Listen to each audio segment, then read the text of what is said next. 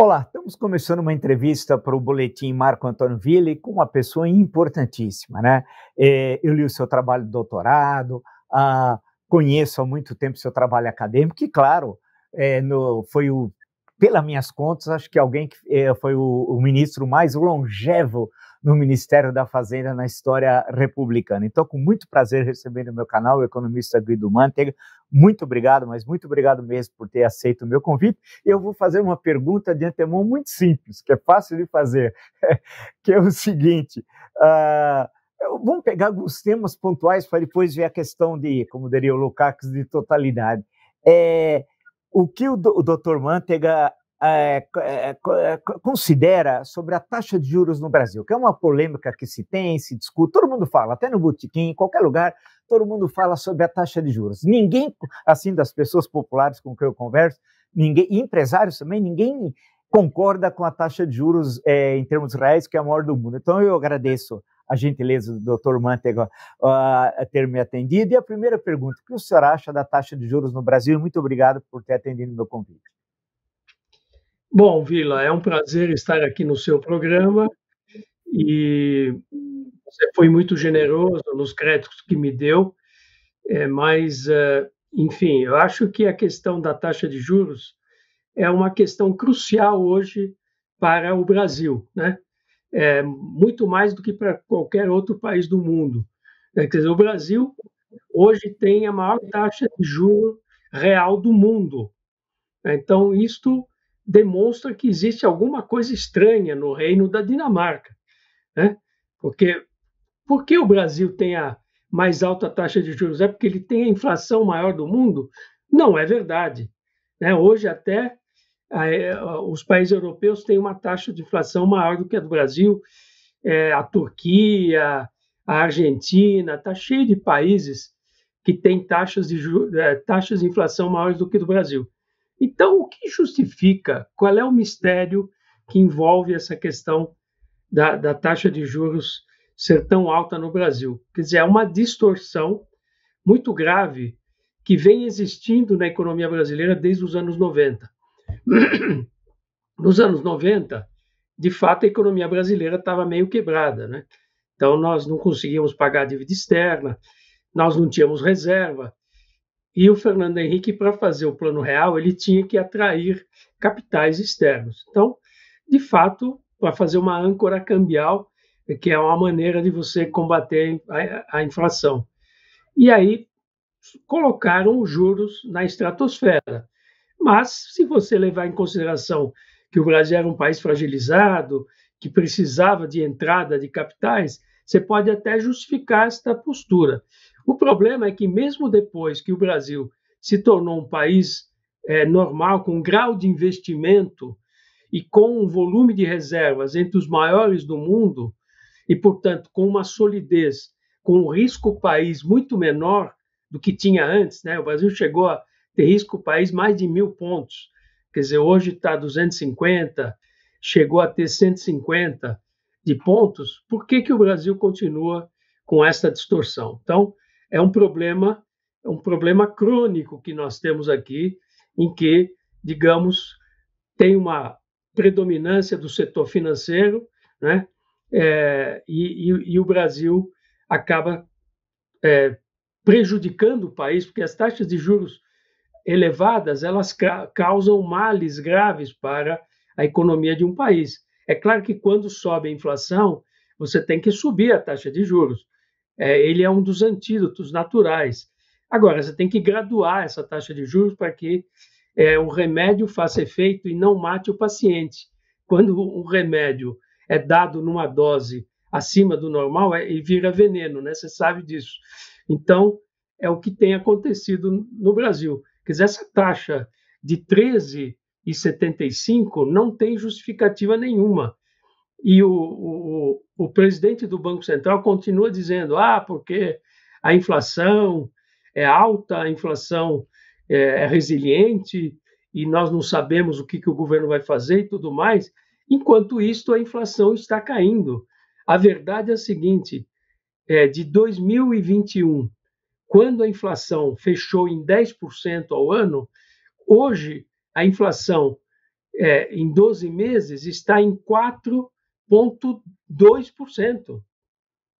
4,2%. Então você veja, de fato a inflação ela vem caindo no Brasil, sim, e não é pela taxa de juros elevada, é porque as mesmas causas que elevaram a inflação em 2020, 2021, que foi, digamos, primeiro a pandemia e a indústria ficou sem suprimentos, as peças subiram e tudo mais.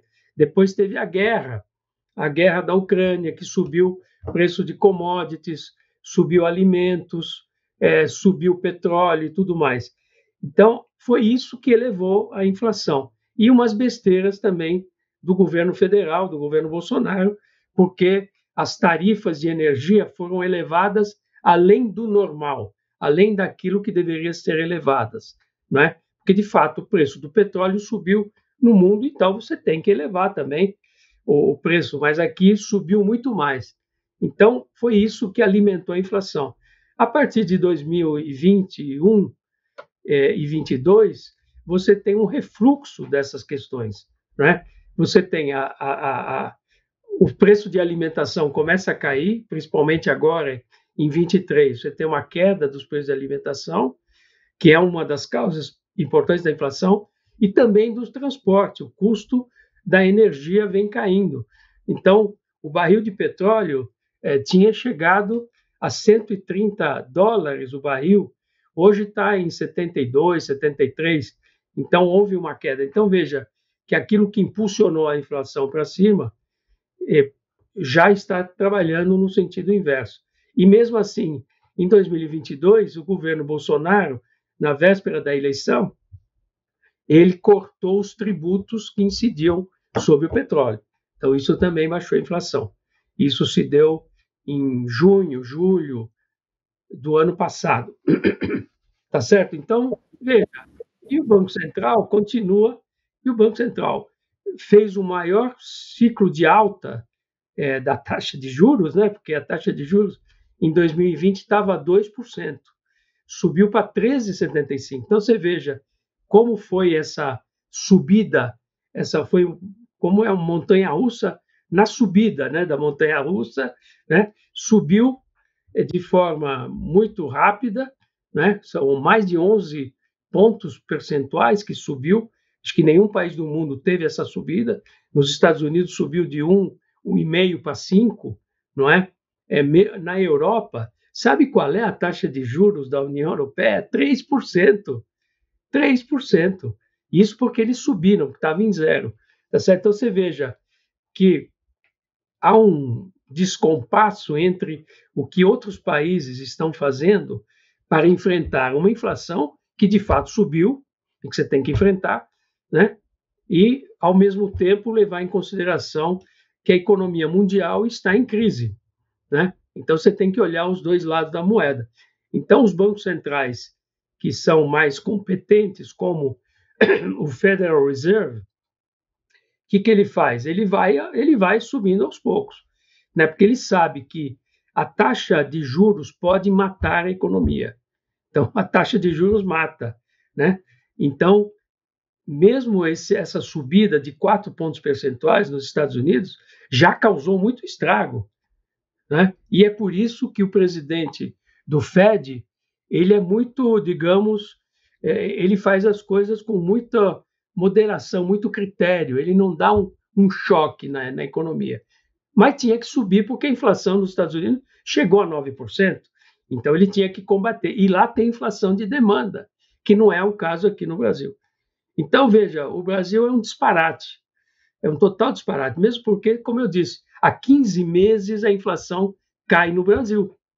Então, e, e, e portanto, é claro que não estamos cumprindo a meta, porque a meta foi uma meta absurda, colocar uma meta absurdamente baixa, né, que não, é inalcançável. Né? Foi um erro que foi cometido pelo Conselho Monetário Nacional antigo, do governo anterior. Então, você veja, você tem essa, esse paradoxo. E o que acontece? Já desde o final do governo Bolsonaro, essa taxa de juros está comprimindo a atividade econômica. Porque no quarto trimestre do ano passado, a economia teve um crescimento negativo. foi 0,2% negativo. Tá certo? A economia que tinha crescido cresceu 2,9%, mas foi no primeiro, segundo trimestre do ano de 2022. No terceiro já começou a desacelerar e no quarto desacelerou. Então, nós começamos esse ano com pouca, pouco dinamismo na economia brasileira e o Banco Central continua cobrando essa taxa, essa taxa absurda. Então, você pode dizer o seguinte: dá para afirmar que tecnicamente não se sustenta a manutenção dessa taxa de juros nesse patamar. Você sabe quanto foi o IPCA de abril? O IPCA de abril foi 0,7 e ele vem caindo mês a mês ele vem caindo 0,7. Está em 0,7. Em 12 meses está 4,2. 4,2. É claro que nós sabemos que junho, julho e agosto ela vai subir, porque em junho, julho e agosto do ano passado, o governo tinha tirado os tributos e o governo atual recolocou os tributos. Então você vai ter uma teria uma inflação muito alta um pouco mais alta agora, junho, julho e agosto, mas nada que superasse os 5,8% de inflação anual. Agora nós temos uma novidade: a Petrobras baixou o preço do diesel e da gasolina e também do gás. Então, é, foi de 12,5% aproximadamente no diesel e gasolina e 21% no gás. É óbvio que isto vai baixar a inflação dos meses de, de, de maio ainda e junho, tá certo? A, a, essa redução é uma redução importante, porque é transporte e alimentação são os, principais índices que, que influenciam a inflação. Então, é, foi calculado que a redução do IPCA entre esses dois meses será de 0,5%. Então, veja, se fosse tudo em maio, em junho, você teria praticamente uma inflação de 0,2, né? Então, veja, vai ajudar a cair mais a inflação, né? Tá certo que depois, em junho, os estados vão recolocar os tributos sobre o combustível e isso vai elevar um pouco. Mas, de qualquer forma, a conta é uma conta favorável. É, quer dizer, a inflação está caindo no Brasil e ela está mais bem comportada. Né? Nos Estados Unidos, a inflação agora está em 4,9%, né? já esteve mais alta. Então, você veja, o juro lá é, é, é, é ligeiramente positivo, porque o juro é de 5%, de 5% até 5,25%, e a inflação 4,9%. Nos demais países todos, 90% dos países, está trabalhando com juro real negativo. Até, até a Argentina, que está numa situação bastante crítica, a inflação lá está é, 109% ao ano, e essa semana o governo, o ministro da, da Economia, o Massa, ele subiu a taxa de juros que estava, se não me engano, 91, 92, para 97%. Então você veja, a inflação 109, quer dizer, mesmo lá que a situação é dramática, ele está é, com é, uma taxa de juros negativa. É, você pega a União Europeia, né, que são vários países, é, eles estão trabalhando com taxa de juros negativa. Por quê? Porque as autoridades monetárias elas têm que olhar, têm que estar com o olho no peixe e um olho no gato, tem que estar com o olho é, na, na, na, na inflação, mas um olho na atividade econômica, porque com uma taxa de juros muito alta pode destruir o país. Em, dois, em, 2000, em 1980, teve uma, um surto inflacionário no mundo e nos Estados Unidos. Não sei se você lembra, né? começou em 79 com a crise do petróleo, subiu o petróleo e tal, e a inflação nos Estados Unidos chegou a 8, 9%, parecida com o que foi agora. Aí foi um, um presidente do Banco Central é, bastante conservador, né? presidente do Fed, que fez, jogou as taxas de juros para cima. O nome dele era Paul Volcker. Era, não é porque ele ainda está vivo. Ele é um sujeito de dois metros de altura, o grande Paul Volcker. Quebrou o mundo, porque ele ficou com uma taxa de juros, chegou a 20% a taxa de juros americana, né? nunca tinha chegado a tal patamar, e com isto ele é, quebrou principalmente os emergentes. a, a dívida externa do Brasil duplicou, né? Você sabe que as dívidas todas não são com juro pré-fixado, o juro é pós-fixado, o juro flutua, tá certo? Então, a nossa dívida duplicou. Né? Então, você veja, é, os bancos centrais do mundo, não sei se eu tenho tempo para fazer essa reflexão, mas eu quero dizer o seguinte, que os bancos centrais aprenderam com os erros do passado. Né? Então, veja, em, em mil, na crise de 29, um dos fatores que agravou a crise e derrubou a economia foi que o Banco Central resolveu subir juros e diminuir o crédito.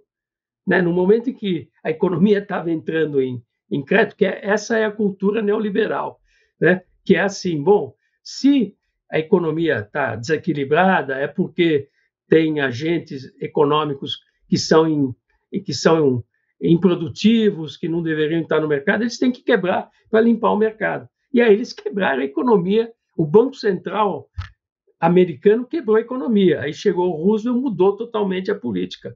Mas ele fez a política ortodoxa: juro alto e pouco crédito. É, em, aí o, Paulo, o Paul Volcker, em, em 80, de certa forma, fez a mesma coisa. Então, mas em 2008, o Ben Bernanke, que é, foi, era o presidente do Fed, fez uma política completamente contrária. Fez o quantitative easing, quer dizer, a economia estava numa crise, ia quebrar tudo. O que, que eles fizeram? Eles colocaram crédito barato na economia, para as empresas não quebrarem, para os bancos não quebrarem. Porque se quebra banco e empresa, acaba tudo. Desemprego de 20%, 30%, né? você, tem perda de capital imensa e tal. Agora, é, então você veja, o Banco Central Europeu age assim, o Banco da, da, da, da Inglaterra também age assim. Lá, o, o juro, eles elevaram o juro a semana passada para 4,5% é o juro. E a inflação é 6, 7% no, no Reino Unido. Então, veja, por que, que nós temos esse comportamento? É, e veja, as perspectivas são de que a inflação está sob controle. Por quê? Porque as commodities alimentares estão caindo no mundo, não é só aqui, no mundo. Né? Então, por quê? Começa a ter safras reguladoras, estoques reguladores de alimento no mundo, que não tinha nesse período pós-pandemia, imediatamente pós-pandemia. No Brasil, nós vamos ter uma safra recorde este ano, então, nós vamos ter é, muita oferta de alimentos, né? Então, isso vai tende a baixar a pressão inflacionária.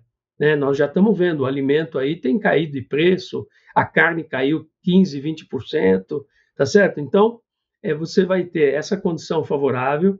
Outra condição favorável é que você tem tido chuvas nos reservatórios e, portanto, a energia elétrica não deve crescer, você não vai ter que ligar as térmicas, isso barateia o custo da energia, Outra coisa importante é o seguinte: nós estamos tendo valorização do real.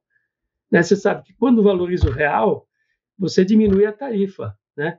porque a, tarifa, é, digamos, do petróleo é em dólares. Né? O barril de petróleo custa, sei lá, 80 dólares, por exemplo. Aí você tem que traduzir para o real. Se o real está desvalorizado, dá um valor maior. Como o real se valorizou, né? então você diminui o preço do barril para a Petrobras, tá certo? Então, veja, é, é, a tendência é uma redução dos, dos, grandes preços que geraram inflação, né? E, e, e, portanto, a tendência no mundo é de uma redução da inflação, o que está acontecendo. Nos Estados Unidos, a inflação, como eu falei, já está em 4,9%, chegou a 9%. Na União Europeia e tudo mais. Então, a tendência como também há uma desaceleração da economia mundial, você vai ter uma. Então, veja, não há pressões inflacionárias. Há algumas alterações pontuais da inflação. Agora, o Banco Central continua dizendo que está preocupado é, com é, o arcabouço fiscal. No fundo, o que o Banco Central está fazendo é uma chantagem para é, o governo fazer a política fiscal que o mercado quer que é uma política fiscal parecida com o teto de gastos. Né? Tem, tem segmentos aí que não gostam é, que querem manter o governo sob controle absoluto, manter as despesas e tudo mais.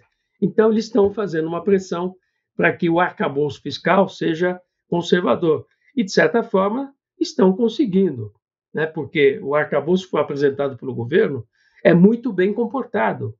Né? É um arcabouço que, que controla as despesas, que limita o aumento de despesas. Para falar as regras mais básicas, você não pode aumentar a despesa mais que 2,5%. Isso é, é, um valor muito pequeno. Né? Você não pode. A, a, a, o aumento da despesa só pode ser 70% do aumento da arrecadação. Então, é óbvio que vai ficar, vai ter um aumento do superávit primário. Então, ele é, digamos, bastante assim responsável, até demais para o meu gosto, digamos, né? porque deixa pouca margem para o Estado, se necessário, aumentar, por exemplo, o investimento. O investimento tem sido muito baixo no Brasil. Vai aumentar esse ano, porque tem 75 bilhões de espaço, tá certo? Mas nos outros anos ele vai continuar mais ou menos preso a esses 75 bilhões. Então, eu acho, se pudesse ter uma opinião para alterar alguma coisa nesse projeto, eu liberaria o, o aumento de investimento para é, tirava ele do limite do primário, como nós fazíamos no período dos governos Lula e Dilma. Né? O Fundo Monetário tinha concordado que investimento não é gasto e, portanto, você podia não computar o investimento como como gasto, ele ficava fora é, da, da, da meta de primário que era estabelecida. Então, veja, por trás disso, portanto, está uma chantagem do Banco Central que, que quer controlar a política uh, fiscal. Não é só monetária, é a política fiscal também. Né? E, e, de certa forma, está conseguindo, porque você veja que o, o governo apresentou uma proposta bastante moderada, muito razoável, muito, muito responsável do ponto de vista fiscal, tá certo? E a tendência é que o Congresso ele diminua a flexibilidade, a pouca flexibilidade que tem, diminua, né? Porque o, o, o orçamento do governo federal é muito complicado, porque tem muita despesa, né? E, e você tem ali é, despesas que sobem independente da vontade do governo, quem quer que seja. Por exemplo, despesa de previdência, que é a maior despesa que o governo federal tem. Então, a previdência vai subir, e aí ela vai diminuir o espaço das outras despesas. Você só pode aumentar 2,5%, isso não dá nem 50 bilhões por ano. É muito pouco. Nós estamos falando de um orçamento de um gasto de 2 trilhões, para você ter uma ideia. Então, 2,5% dá, dá 50 bilhões. Então, veja, e, e, e o que, está acontecendo? Nós estamos vendo uma crise financeira no país. Há uma crise financeira. O que é uma crise financeira? O dinheiro está escasso e caro. Né? A expansão do crédito no ano de 2023 está previsto pelas pelo Febraban, pelas autoridades, em 8,3%.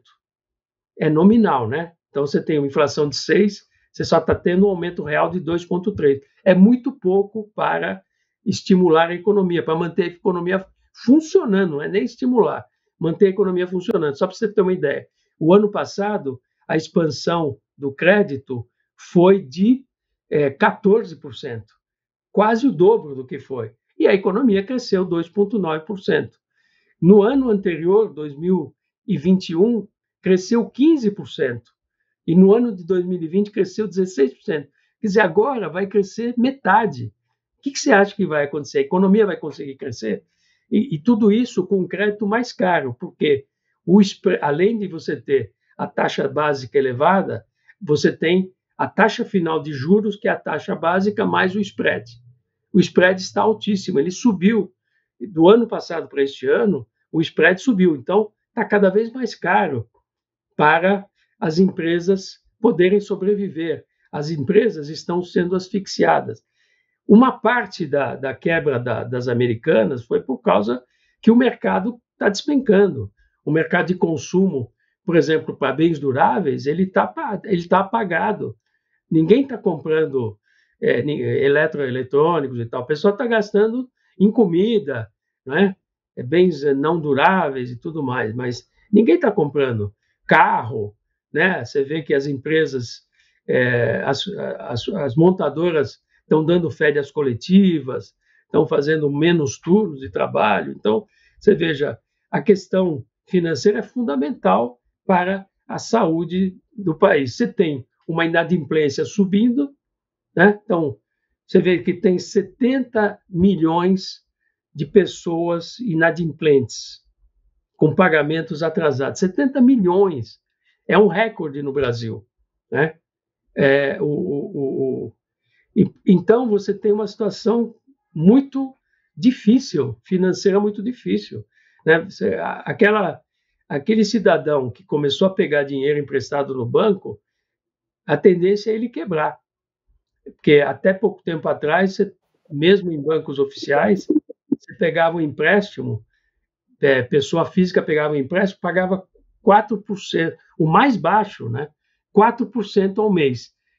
E outros pagavam até 7%, dependendo da situação do sujeito. Imagina, 4%, 7% ao mês dá mais de 100% ao ano. Quer dizer, ele vai pagando as prestações e a dívida está cada vez maior. Então, você quebra a pessoa. Quando a taxa é muito alta, quebra as pessoas. O BNDES não está podendo emprestar a taxas subsidiadas. O BNDES hoje está emprestando a, a TLP.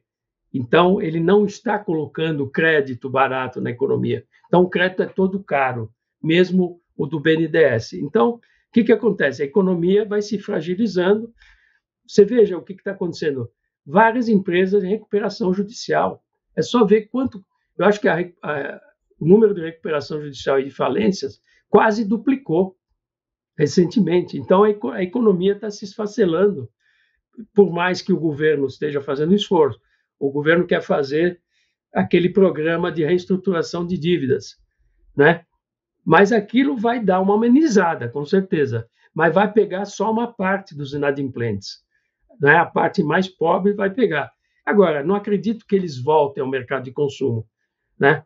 Eles vão conseguir equacionar a sua dívida e tudo mais, talvez, mas não voltam ao mercado de consumo, tá certo? Então, você veja, é, o, o Banco Central ele provoca uma situação muito ruim para a economia, né? Ele causa um, um, um prejuízo grande na economia.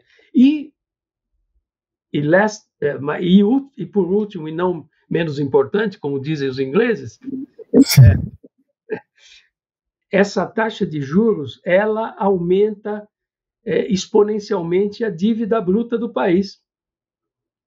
Só para te dar uns números, né? Vamos pegar o orçamento de 2022. Em 2022, que a taxa de juros já era alta, mas mais baixa do que este ano, é, a média deve ter sido 12, 12,5%, né? Que ela foi subindo. Você teve um serviço da dívida de 580 e poucos bilhões de reais, que equivaliam algo como 5,8% do PIB, né? Então, como é que você, como é que você calcula a dívida bruta? Como é que você calcula, é, digamos, o, o déficit nominal, que é o déficit primário mais os juros?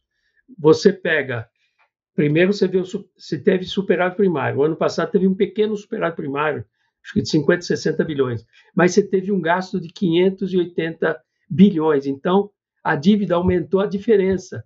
Aumentou 520 bilhões por causa do Banco Central, das taxas excessivamente elevadas. Tá certo? Esse ano, 2023, mais do que isso, há uma, se o Banco Central continuar com essa taxa em 3,75, nós poderemos ter 750, 800 bilhões de serviço da dívida pública. Isso significa 7% do PIB. 7% do PIB significa que a, a, a, dívida bruta, que está em 73%, vai para 80%. E não foi por gasto do governo. E se você olhar os últimos 10 anos, essa é a história. Né? Quando eu deixei de ser ministro da Fazenda em 2014, sabe quanto era a dívida líquida? 32,5%. Hoje ela está em 60%, ela duplicou. Tá certo? E uma boa parte disso é juros. Então, veja, quem quebra o país é o Banco Central maior administrado. Né? O, o Banco Central brasileiro, que continua, é, digamos, fazendo aquela política ortodoxa tradicional. Poxa, é, o que eu anotei aqui de, de informações é, que o professor Guido Manta levantou, olha, estou aqui com um rol de questões, assim, acho que são fundamentais para quem nos acompanha aqui no canal. Eu ia colocar umas outras questões, mas acho que não precisa, não, porque o seu apanhado de totalidade do significado da dívida para a economia do país, para as pessoas, para as empresas, para o país, para a União, para o Tesouro, né? Ah, como isso segura o país, trava o crescimento do país, né? As comparações é, com outros momentos da história do Brasil, a referência à, à questão norte-americana, eu me lembro do governo Carter, né? A situação que estava no final do governo Carter, o reflexo do Brasil, lembrar que em 82, né? Houve a suspensão no pagamento da dívida externa. Lembrar do México, começa com o México, que aquilo se espalha, ah, não, não, né? Quebraram o Brasil. Quebrou Sim, o Brasil. Perfeito. Então, o seu apanhado realmente é aquilo que a gente falava lá no passado. Hoje que ninguém lê o Lukács, eu me lembro do História e Consciência de Classe, essa busca da visão de totalidade. Acho que a sua exposição foi, foi fantástica. Eu ia até levantar outras questões, mas não precisa, não, porque foi um apanhado geral e do que significa. É, ou, ou é, nós estamos na, na, na, naquele caminho que parece um filme do Kurosawa, o Yojimbo, quando ele joga o Toshiro Mifune, joga um galho para o ar, tem um caminho para cá para cá, uma bifurcação ou nós encontramos o caminho correto e isso leva à queda da taxa de juros real do país, ou vamos caminhar para o precipício. Acho que poderia fechar por aí. Seria, seria essa a questão central, professor? Sim, veja, hoje é, tem vários empresários que têm a plena consciência que essa taxa de juros está quebrando o país. Inclusive, eu te digo, tem banqueiros, grandes banqueiros que acham isso, né? Se você olhar o balanço dos bancos, nem vou nominar aqui, mas olhe o balanço dos bancos, você vai ver que tem banco que está pagando um preço por essa altíssima inadimplência e tudo mais. Então, eles não estão gostando. O que talvez os une é que eles querem, é, digamos, constranger o governo a fazer uma, é, um arcabouço fiscal que seja mais palatável, que, que digamos, que controle determinados gastos tá certo? Então, é, talvez eu acho que se for aprovado esse arcabouço fiscal nas próximas duas semanas, conforme está, está previsto, talvez a situação é, se acalme e o Banco Central ponha a mão na consciência e comece a baixar a partir de agosto, né? Mas não vai fazer muita diferença porque ele costuma subir rápido e descer e, e, descer devagar, tá certo? Sobe de elevador e desce de escada, né? A taxa de juros, quer dizer, ele vai começar a descer, ele pode descer, no mínimo ele deveria baixar meio por cento ao mês, mas pode começar com 0,25, pelo discurso arrogante é, do, do, do, do Campos Neto, né? Que é muito menos inteligente que o seu avô, né? É, ele, ele deverá começar uma descida é, gradual, tá certo? Então, imediatamente não terá um grande impacto. Mas o mercado todo já está sabendo que ele vai ser obrigado a baixar, tanto que as taxas futuras já estão caindo, né? porque não tem condições de segurar essa situação, né? Mas ele já, já causou um mal grande, né? Porque vai é, o, o crescimento de 2023 já está comprometido.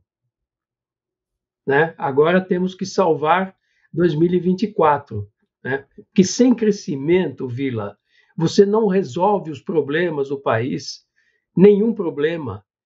O crescimento é o crescimento que resolve a, a, a equação fiscal. Quando a economia não cresce, a arrecadação não está indo bem, a arrecadação está tá caindo, tá certo?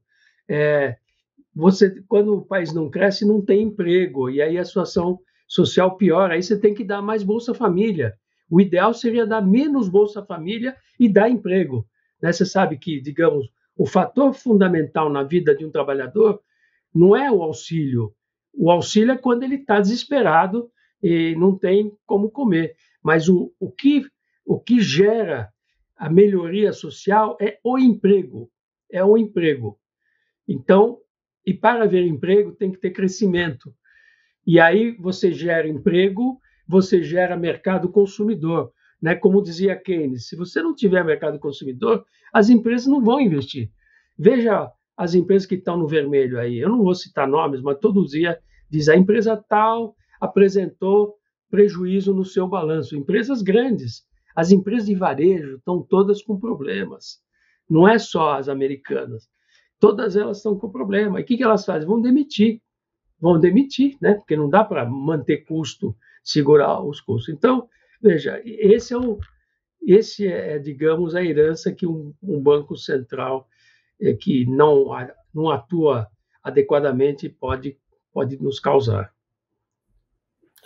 Eu queria agradecer mais, mais muito mesmo, mas muito mesmo ao, ao professor Dr. Guido Mantega. Acho que ele deu um apanhado é, geral da economia brasileira, das questões centrais, né? É claro que nós temos desdobramentos inúmeros, falar de agronegócio, da reindustrialização, ah, dessas, da mudança econômica mundial, do eixo econômico para a região Ásia-Pacífico. Bem, tem questões intermináveis que seriam fundamentais, mas eu acho que são, são pontos assim que, estão dentro é, das nossas possibilidades essas mudanças, né? Ou seja, não passa por questões tão estruturais e tão complexas. Então, eu agradeço muito a gentileza do professor Guido Mantega, mais uma vez conversar conosco, professor, e a gente sempre tem certeza que quem nos acompanha, mais uma vez, aprendeu um pouco mais sobre a economia brasileira. Mas muito obrigado mesmo. Obrigado, Vila. Estou à disposição para nossas próximas conversas. Um Valeu, abraço então. Para vocês, um abraço. espectadores. Valeu. Obrigado, então.